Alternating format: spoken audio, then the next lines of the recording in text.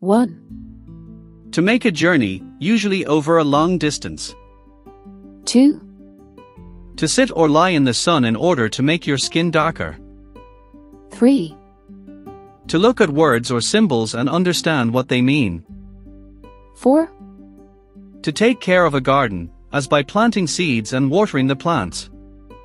5, To prepare food by heating it in a particular way, or, of food, to be prepared in this way.